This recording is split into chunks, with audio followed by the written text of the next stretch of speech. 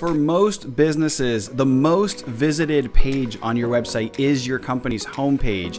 However, it's typically one of the most neglected when it comes to creating a high converting website. So today we're going to break down how do you make your homepage convert better in 5 easy steps. My name is John Aikin. I'm the CEO of Web Canopy Studio and this is the Website Conversion Show.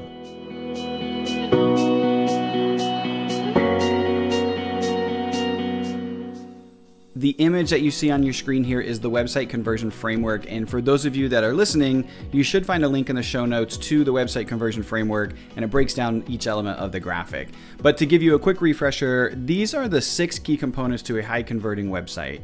And so what we're doing is kind of breaking down each one individually. And today we're really living in that positioning and messaging area of, of the framework. And when we are exploring how can we make our website position better and, and tell a better story and, and really zero in on the message that we're sharing, there's so many different elements that we could talk about. But one of the biggest misunderstood components to a website, one of the biggest areas for improvement that we see across the board when we're looking at uh, websites of clients that are coming in, prospects, or we're just having conversations with people, is the, the discussion around the homepage. And so, you know, most of the time people are approaching their homepage from the the, wrong perspective. They're thinking about the wrong things. And so what I'm going to do is break down how you can quickly and easily fix your homepage without even being a developer uh, in order to make your website convert better. So there's really five easy steps. So we're going to break down each one of those uh, today. And so the first thing that we're going to talk about is a clear headline when you're on your website, when when somebody is visiting your website, we have about two seconds to to get their attention and to keep them engaged to the point where they're going to want to stay or they're just going to want to bounce and they're going to press that back button or the exit button. And so when we're thinking about the clear headline, we have to get on the level of our prospect immediately.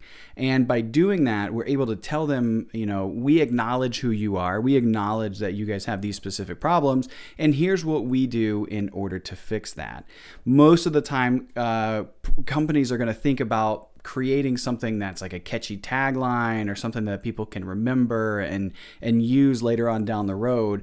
But if you remove the company completely from the context of this discussion and you remove the brand name and you just think about the clear headline that's that's being displayed, if it doesn't if it doesn't resonate with exactly who you are and what you do, you're not going to be memorable. And the, the second thing is you're not going to be uh, relevant to them in the discussion around is this something that I need to learn more about? So, in order to make sure that right out of the gate that we are on the level of the of the the clients that we want to engage with, we have to make sure that we answer the question of what do you do right away.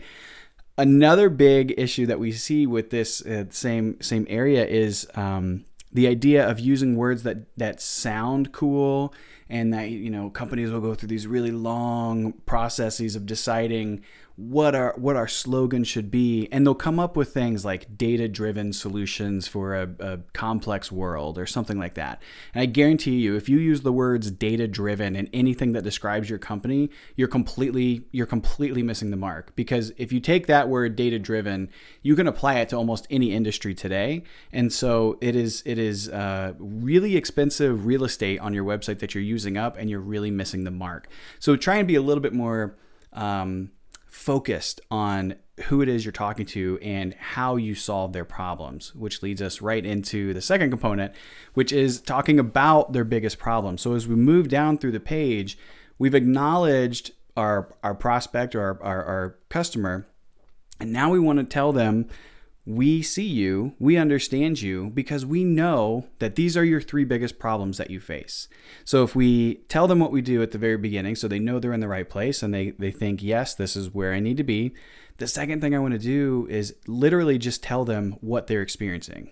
I want to highlight the issues that they're facing, and I want to do so in a way that's very simple it's not convoluted. It's not really wordy. We're not creating this big blog post. We're just telling them, look, these are the things you're experiencing that we know how to fix. And so we're highlighting the biggest problems that they're facing. Um, it doesn't have to be a really big, massive section of your website. Um, and a lot of the time, people can get away with just having three columns and three boxes to discuss this. But this is a really great way to help people understand that they are in the right place and that they need to uh, understand more about what it is you do and how you solve their problems. The third element that we want to do is build social proof. Now, what this does is it allows you to have more credibility for the people who come to your website. Previously, if you look back in like the early 2000s up up until you know people even do it today still, this is where people spent all of their time talking about their website. This is what all their content was. It was about social proof. They would say, We've been in business for 50 years and we service the Whitewater Valley and, and you know, our customers love coming back to us time and time again. But that kind of marketing doesn't tell me that I need to do business with you. That kind of marketing doesn't tell me you're solving my problems. So we can't build the entire content of the website or of the homepage around that kind of content, right? So we also can't completely disregard it because it is really important. And that is very, very important to some buyers to make sure that they know that they're dealing with a legitimate company. And if that lends credibility to your brand, then we have to make sure we highlight it. But we can do it in very tasteful ways. And so instead of making the whole page about it, instead of like really blatantly blasting that kind of stuff out, we want to make sure that we're talking about social proof in very smart ways. So, in order to build our credibility up, what can we do? Well, a very common one is to feature the the logos of the brands that are recognizable that have trusted you. So you'd be trusted by all of these different brands. And that does a lot that goes a very long way because it, it, it lifts up the credibility of your brand. Another thing that you could do is include client testimonials. Those are really nice to just have some quick words of, of um, success, what other people have experienced with you. I always like to lean in on the case study route and anything that's visual uh, regarding whether we're, we're taking uh, screenshots of results that we've uh, generated or that you're helping clients achieve these kind of goals. Anything that's visual is really good to put there. But if you can put some kind of video, that's even better. So if you could get a client to give a video testimonial and we're embedding that in different areas, throughout the website, but prominently on the homepage as well, you're lifting up the credibility of, of who you are and how you can help them. The fourth thing we're going to do is talk about their their questions. Or we're going to answer their questions in different ways, and there's a lot of different components to this. One of the most prominent ways that I've seen this done really, really successfully is just listing out the most common questions towards the bottom of the page. And they can be anything from how much does it cost to work with you to how, how does this process go to walk me through what happens after I make an agreement with you. And so listing out what their questions are, because in the back of their mind, they are going to have these kind of, of, of, thoughts and, and if you can get in front of them as they're moving through the website, as they're moving through that page, you're kind of subconsciously checking off all these items that, that they have to make sure are, are answered in the right way. So one of the best ways to do this is to literally just go through previous sales conversations you've had. Think about your last several clients that you've landed and write out the questions that they've had and see which questions stand out the most. Some of them need very extensive uh, content around them. Some of them deserve their entire blog posts and, and social media campaigns around the questions that they're having because that's really good. If, if one person has that question, odds are other people do too. So you now have a lot of different uh, ways to produce different kinds of content that's relevant.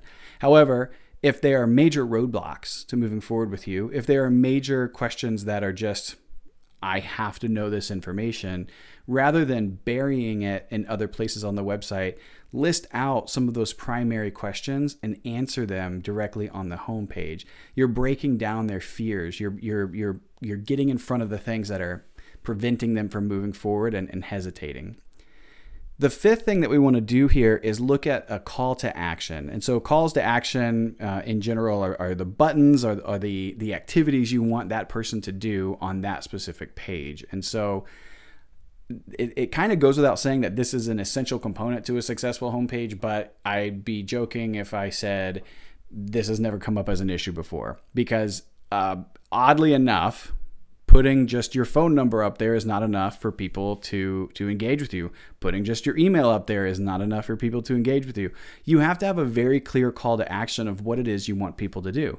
If you're a software and you want people to sign up for a demo, then you need to say, literally say, sign up for a demo, get a demo, or get a free trial. Or maybe you're a, an IT company, you're saying, get a consultation or schedule your strategy session. And you want to make that call to action extremely clear and extremely prevalent at different sections of that homepage. If it's if it's something that is not an essential component to a conversion, it wouldn't exist at all. But this is very, very important, and it has to be clear throughout not only the homepage, but all the other pages on the website as well. So, including it in your navigation at the top, including it in the footer. Um, that that's really where you're going to get the repetition and the mindset that people need to do this thing. They're going to see it over and over again as they move through your website. One other thing that you could do with that is give them a really clear path to success within that call to action. So tell them the three steps that have to happen in order to get started with you. Number one, you're going to book a call, you're going to book a demo. Number two, we're going to go through and assess all these different issues that you have. Number three, we're going to lay out your game plan. That's the three step call to action there. So stuff like that is how you, um, you you're going back to step four. You're answering their questions. And you're you're kind of breaking down barriers and, and the hesitations that they're having, but you're also also giving them a very clear outcome of what that success looks like. And you're marching them through and literally holding their hand and guiding them through what they need to do in order to get uh, to that call to action. So, uh, if we're looking at this just as a quick recap of how to make your homepage convert better, number one, clear headline. We're going to make sure that we say what we want to say. We're, we're getting on their level right away. We're answering the question of what what do we do right away. Number two, we're acknowledging their biggest problems. So we can say, we understand exactly who you are. You have this, this, and this problem. Number three, we're building social proof. So we're helping to build our credibility by not just telling them what we want to tell them, by showing them what other people who are like them or who are who they aspire to be have worked with us before. Number four, we are answering their most critical questions that, that are holding them back from getting to take that next step with you. And number five, we're being very, very clear about the CTA or the call to action that we want them to take. And so when you really consider all of these different steps in order to moving forward with you, you're you're making your homepage a very high converting page. This is going to this if you're not doing these things and you put these into place, this is going to really transform the overall success of what that page is going to do for you. And again, it is probably the highest visited page on your website. So all that being said, if you want to dive in a little bit deeper, you're welcome to go to our website, webcanopystudio.com slash assessment.